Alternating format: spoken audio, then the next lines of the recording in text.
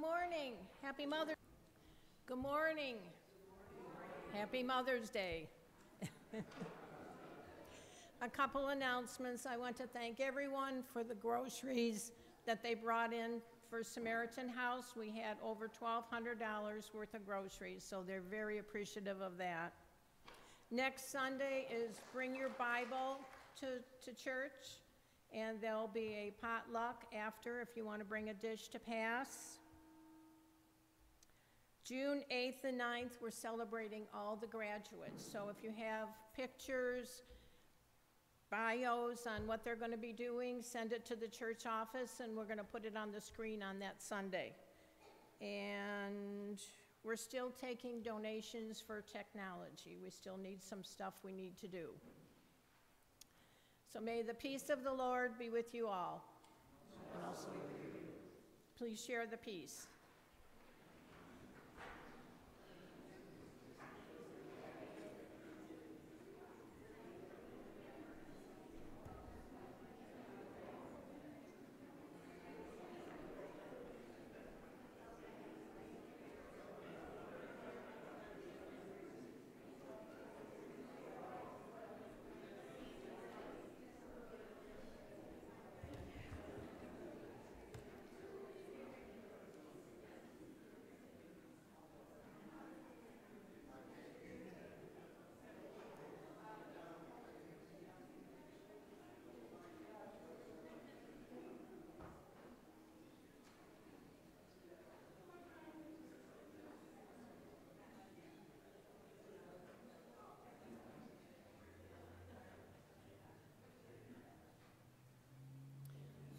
We're going to start with What a Fellowship, hymn number 780 in the Blue Book.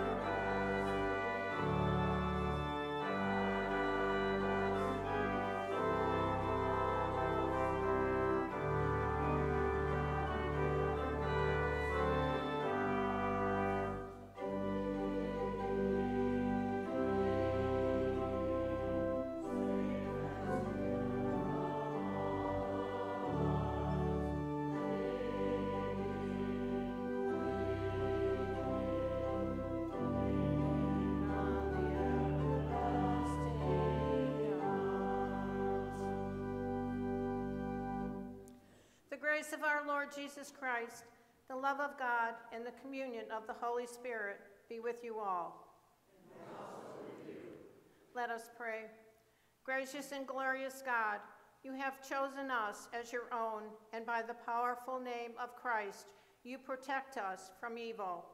By your Spirit, transform us and your beloved world, that we may find our joy in your Son, Jesus Christ, our Savior and Lord, who lives and reigns with you and the Holy Spirit, one God, now and forever. Amen. Please be seated.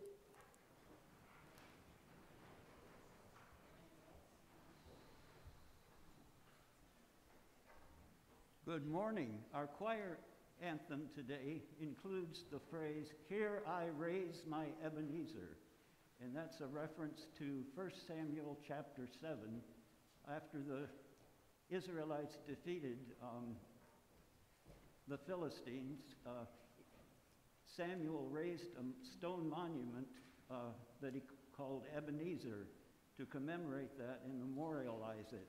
And in our anthem, the person says, I raise my Ebenezer because God has helped him to get to where he is, and he wants more help to learn how to sing God's praise and more help to be steadfast because his heart tends to wander. And if you, would like, I invite you to read Sam, 1 Samuel from verses 1 up, uh, chapter 1 through chapter 7 if you want more of the story.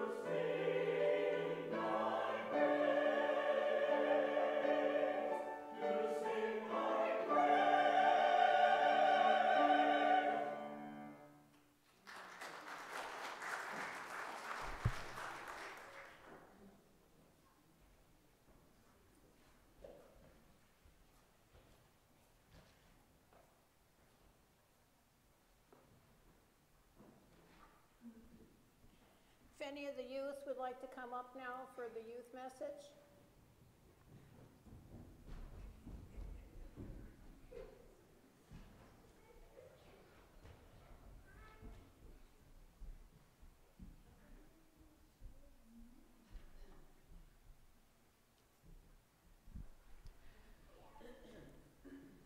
Good morning. Hello. Are y'all there? Awake this morning? Wow. Thanks for coming up. Do you remember me? I did this once before. I remember all of you. It's very special that you can come up. Do you know what day it is today? I know. Isn't it amazing? Mom gets a special day just for her. Do y'all have a mom? Yeah. Is yours the best mom in the whole wide world? All of you have the best mom? Well, whose mom is better? Yours. I think God gives us the best moms, and He kind of picks them out so that you're the best kid, right? Maybe, sometimes. Yeah. So, what's mom's job? Oh, does mom does mom cook? Yeah, so she's a cook, right? She's a, she does the laundry, so she's a laundress. And does she clean? Oh man, she's a housekeeper. And does she teach you stuff? She's a teacher. Wow. How did she get to be so smart? I know. She went to school. Good answer. Yeah. But what's mom's what's mom's best job? What's her favorite job in the whole wide world? You got it. Taking care of you. Do you think mom smiles every time she sees you? Yeah, yeah she does, because you're all so darn cute. What about when you're not so cute? When you do something that's a little um, not the best, like had three cookies instead of just one. Do you think mom still loves you? Yeah, she does. Did you know that moms have a special gift? Moms can tell when you're telling the truth. Oh, yeah, y'all laughing at that. That's the truth. And mom can tell. Sometimes they have super hearing too. You think you're whispering and you're getting away with it, but we've heard mom can hear that too, right? Yeah. But she still loves you, right? So I'm going to tell you a story about a friend of mine. Because sometimes mothering is a little different than being a mother. So you can have that love for other people, even if they're not your child, right? We know God loves us, right? We're God's children, right? But sometimes people come into our lives that are very special friends. So I had this very special friend. Her name was Loretta. And Loretta was only this tall. She was very, very short. And Loretta liked to help kids. So Loretta used to gather teddy bears and stuffed animals, and she donated them to kids. So one day, Loretta got some bears in, and there was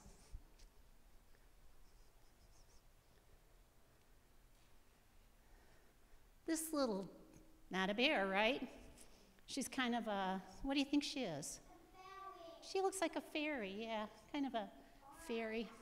And she said, well, her head's kind of limpy and her wings don't stand up, but I really like her, so I think she's going to stay at my house. So she named her Sparkle. You think you know why she named her Sparkle? She named her Sparkle, and she said, Sparkle's just going to sit on my couch, sit by my sewing machine, sit in the window. So every time I went to see Loretta, she would, Sparkle was there. So even though Loretta was older than me, way older than me, 10 years older than me, really old, she would say when we were getting ready to leave, I made you some cookies. I made you, I've made you a lunch to take home. Now, she was a whole hour away, but in case we got hungry, Loretta packed us a lunch to go home. So she was kind of mothering, even though she wasn't our mother, right? But she was a good friend. So, what can we do for mom? What can we do that's really special for mom? We can be extra good. Yeah, we can be extra cute, right?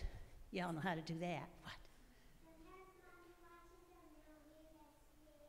Oh, she watches a movie with you? Wow, that's very special. What about if we say to mom, Mom, that was the greatest breakfast? Is that a gift? It is, yeah. It's a word gift, right? When we go off to school, we say, See you, Mom, I love you. Do you think Mom goes, Oh, they're so cute. I just love when they say that, right? Yeah. And then Mom has another special job. She's going to teach you about what? Right here. Right here. She's going to teach you about Jesus. She's going to teach you about being God's child. And next week, you're all going to get a Bible. Wow, it's going to be exciting, right? You guys don't look very happy today. Are y'all happy? so, what we're going to do today is we're going to try three times to say to mom, You're the best mom. I love you. Happy Mother's Day. Can we practice it? One, two, three. You're the best mom. I love you. Happy Mother's Day. Okay, cool. Shall we pray? Dear Lord, we are so grateful for all the wonderful moms that we have. We thank you for giving us the gift of a great mom. We'll try to be better kids, even if we're older kids. And we thank you for this glorious day. Amen. So when you leave today, I want you to all wave and say Happy Mother's Day to all the moms here. Can you do that? On the way to Sunday school? Okay. Thank you for coming up.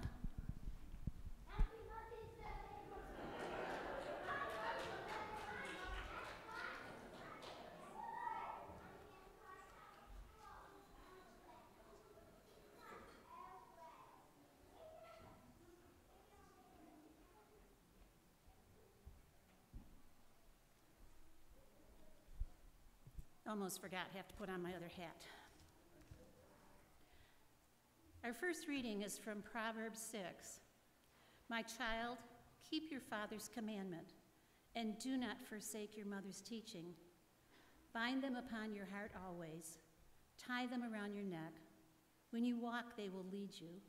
When you lie down, they will watch over you. And when you awake, they will talk with you. The word of the Lord. We'll now read responsively from Psalm 113. Who is like the Lord our God, who is seated on high?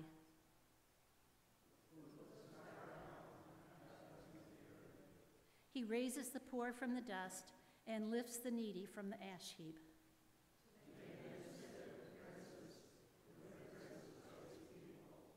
He gives a barren woman a home, making her the joyous mother of children. Praise the Lord.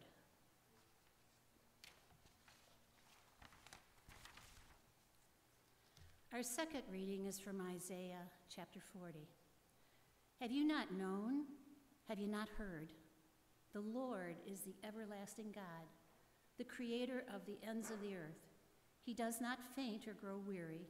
His understanding is unsearchable. He gives power to the faint, and to him who has no might, he increases strength. Even youths shall faint and be weary, and the young will fall exhausted. But those who wait for the Lord shall renew their strength. They shall mount up with the wings like eagles. They shall run and not be weary. They shall walk and not faint.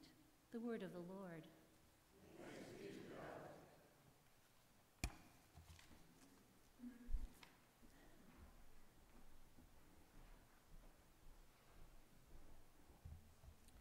A scripture reading this morning from Proverbs 31, verses 25 to 31. Strength and dignity are her clothing, and she laughs at the time to come. She opens her mouth with wisdom, and the teaching of kindness is on her tongue. She looks well to the ways of her household and does not eat the bread of idleness. Her children rise up and call her happy, her husband too, and he praises her. Many women have done excellently, but you surpass them all. Charm is deceitful, and beauty is vain, but a woman who fears the Lord is to be praised. Give her a share in the fruit of her hands, and let her works praise her in the city gates. You can be seated.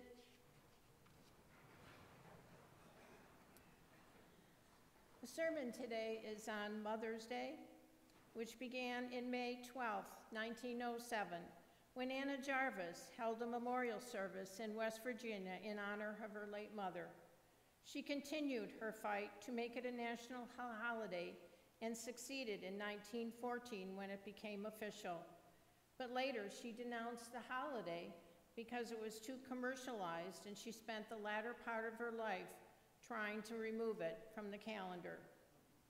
In many homes, Mother's Day will begin with breakfast in bed for mom, flowers, cards, and family gatherings, all to celebrate her.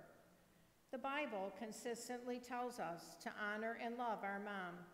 In Exodus 20, verse 12, the Bible tells us to honor your father and your mother, so that you may live long in the land your Lord God is giving you. In Isaiah 66, verse 13, Jesus tells us, As a mother comforts her child, so I will comfort you. This morning, I'd like to tell you about a few women in the Bible who wanted to be mothers. Eve is the mother of all living. She was the living embodiment of humanity's glory. God had saved the best for last. She was undefiled by any evil, unblemished by any disease or defect. She was perfect in every way. Eve was grace, charm, intelligence, and pure innocence. God created Eve from Adam's rib, his intellectual co equal, and in every sense, his perfect mate. The circumstances of Eve's creation illustrates how deep and meaningful the marriage of husband and wife is designed to be. It is not merely a physical union, but a union of heart and soul as well. Even though Adam and Eve were equal in God's eyes, there were differences. Adam was created first. He was the head, designed to be father, provider, protector, and leader. Eve was designed to be a mother, comforter, nurturer, and helper. When Satan deceived Eve, thinking eating the fruit from the tree of knowledge of good and evil was okay, and she offered it to Adam, this is known as the doctrine of original sin. Adam was blamed because he was head of the original family and of the human race. God punished them both. Eve's punishment was she would experience extreme pain with childbirth and suffering. Later, when Cain and Abel were born, Eve saw them as tokens of God's goodness and reminders of the promise that her seed would be the destroyer of the tempter. After Cain, and A- Cain killed Abel and the birth of Seth, she felt Seth would be the one to fulfill that promise. Mothers are caregivers of the world. They nurture their children, teach them right from wrong, and educate them about God. If you had a mother like I did, she fed you, taught you, disciplined you. Unless you did something really bad, then it was wait till your father gets home. And she made sure you had clothes on your back. you attend church every Sunday, whether you wanted to or not. Coming from a family with seven brothers and sisters, I know things were tight, but we always had food on the table. I lost my mom during COVID in 2020, just before Mother's Day. I felt bad because I could not be there for her in the end, as she had been all my life. You still want that support and guidance from your parents to know that someone was always there for you, whether right or wrong. They would always love you. For many of us who have lost their mom, it's a bittersweet day. Thinking back on all the good times we had, watching other families celebrate the day can sometimes be a sad day for many.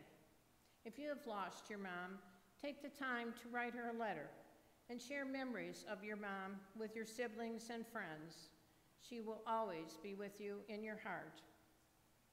Another mother in the Bible is Sarah, wife of Abraham, who so wanted a child but could not conceive. God made a covenant with Abraham and told him to leave the country, So they made their way to Canaan. God had promised Abraham would be the father of a great nation. After many years of being nomads, and Sarah was still childless, she encouraged her husband to take Hagar, their servant, as a second wife so she could have children to care for. Sarah wanted to be the matriarch of that great nation, so she figured she could raise Hagar's child as her own.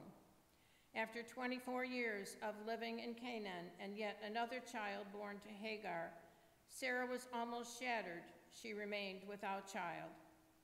When God came to Abraham again with the promise he would make him extremely fruitful, finally, at the old age of 90, Sarah was with child and named him Isaac. Sarah never wavered in her faith that God would one day provide her with a child. Ruth's story began near the end of the era of the judges in the Old Testament. She was a widow and a foreigner who went to live in a strange land. Tragic circumstances reduced her to poverty. She was not only an outcast and an exile, she also didn't have any resources. After Ruth lost her husband Mahlon, she left Moab with her widowed mother in law, Naomi, due to the famine. They traveled to Israel, where Naomi had family. Since neither one had any money, Ruth went to work in the fields, gleaning what the harvesters left behind in order to pro- provide enough grain to eke out an existence. Biblical law established this as a means by which the most destitute in Israel could always earn a living.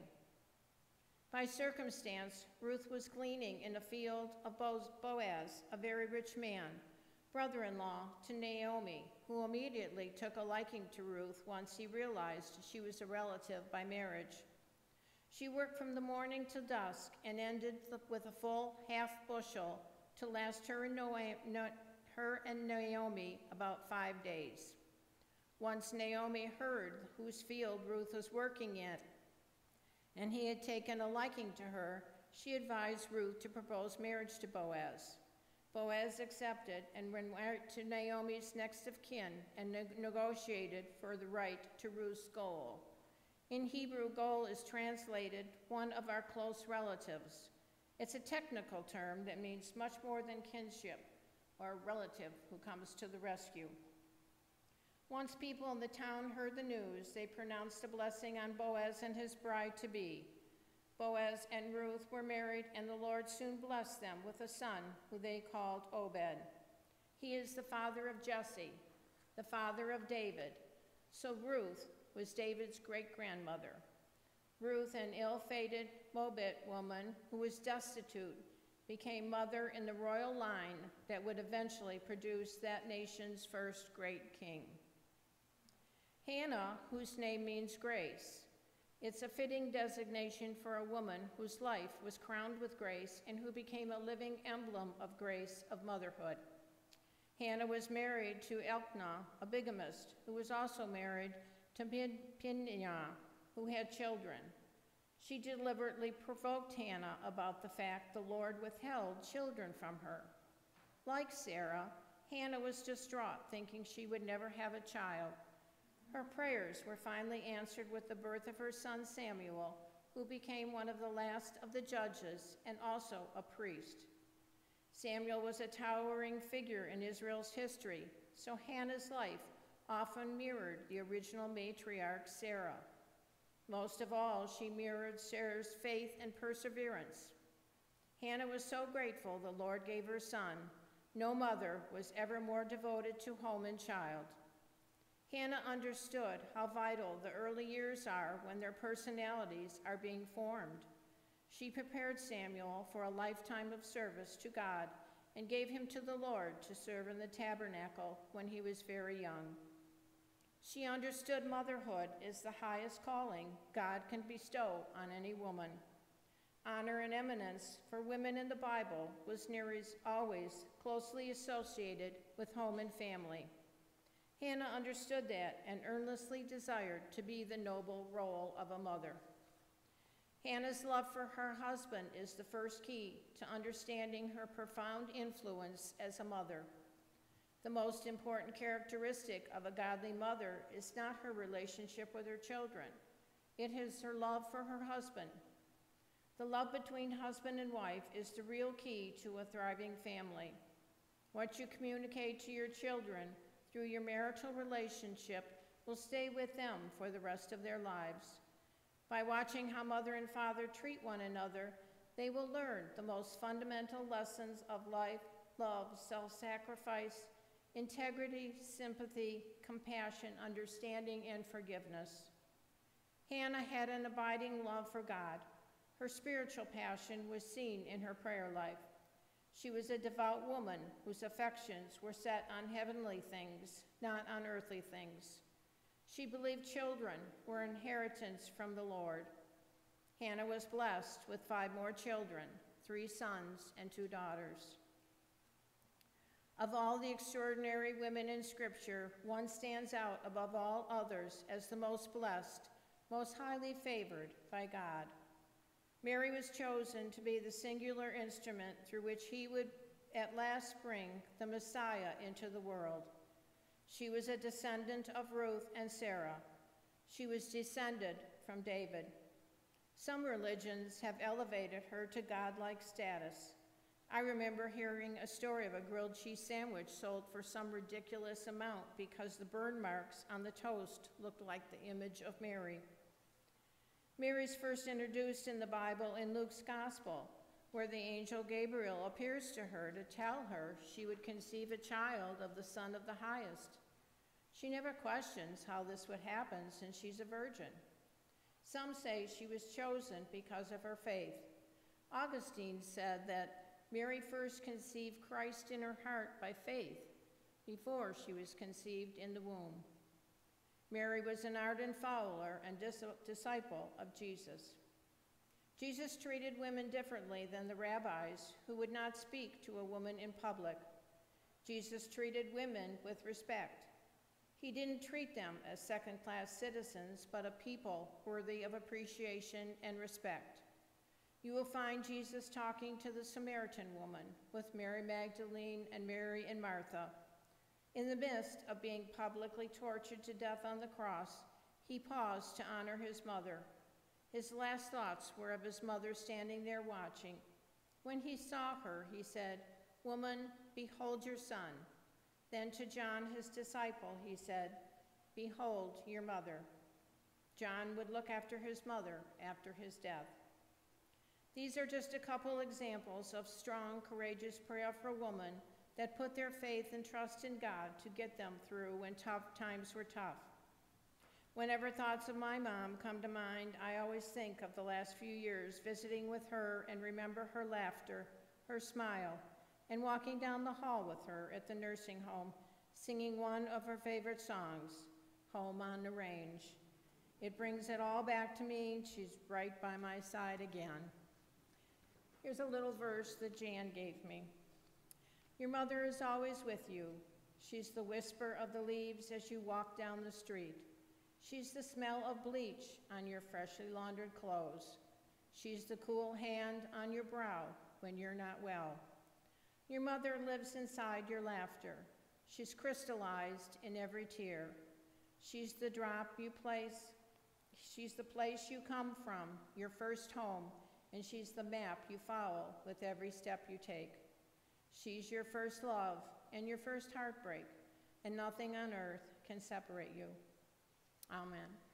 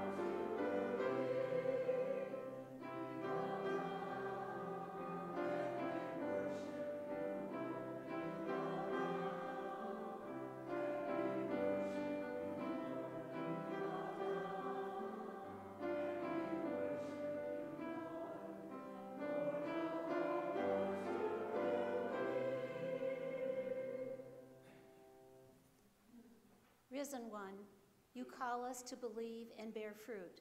May the gifts that we offer here be signs of your abiding love. Form us to be your witnesses in the world through Jesus Christ, our true vine. Amen. You may be seated. In addition to the names on the screen, I'll now take names from the congregation you'd like lifted up in prayer. Thank you. Thank you. Thank you. Thank you.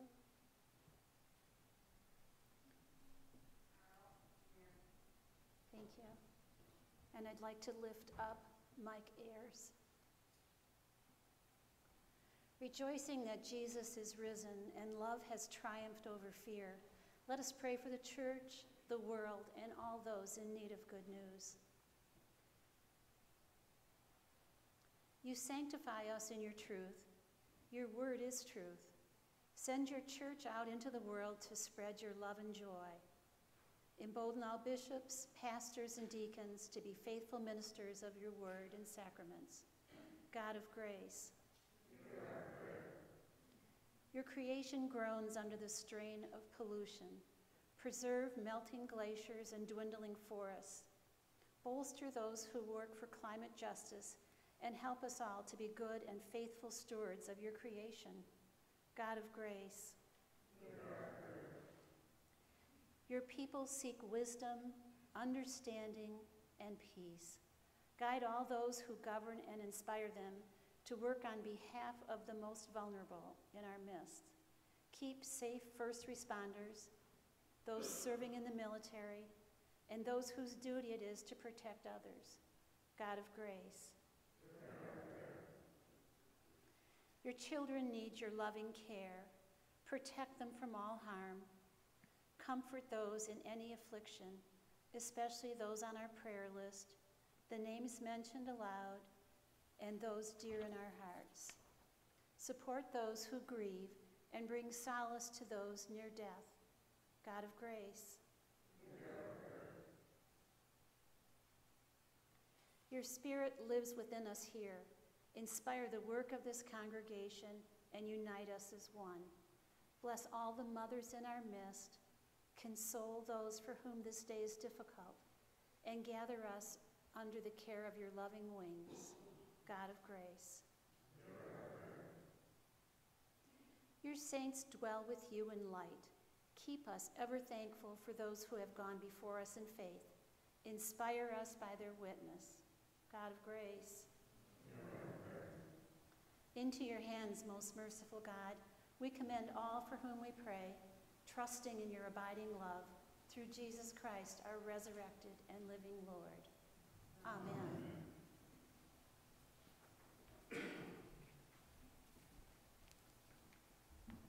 Please stand as you're able.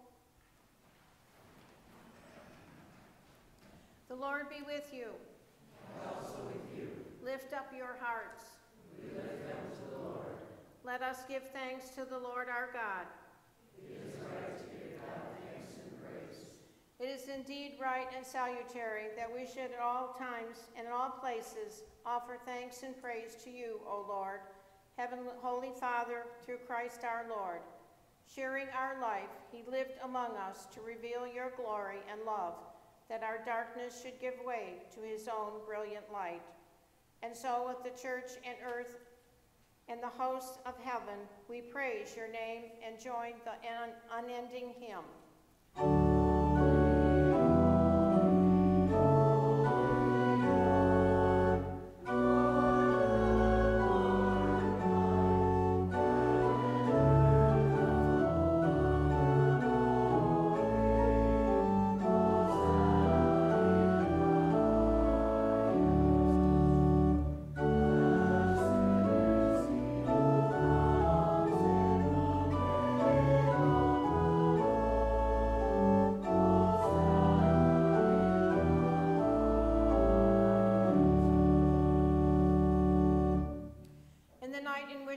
Betrayed, our Lord Jesus took bread and gave thanks, broke it, and gave it to his disciples, saying, Take and eat. This is my body given for you. Do this for remembrance of me. Again, after supper, he took the cup, gave thanks, and gave it for all to drink, saying, This cup is the new covenant in my blood, shed for you and for all people, for the forgiveness of sin. Do this for the remembrance of me. Join me in the prayer the Lord taught us to pray. Our Father, who art in heaven, hallowed be thy name. Thy kingdom come, thy will be done, on earth as it is in heaven. Give us this day our daily bread, as we forgive our trespasses, as we forgive those who trespass against us. And lead us not into temptation, but deliver us from evil. For thine is the kingdom, and the power, and the glory, forever and ever. Amen. The banquet is ready. Come and take your place at the feast.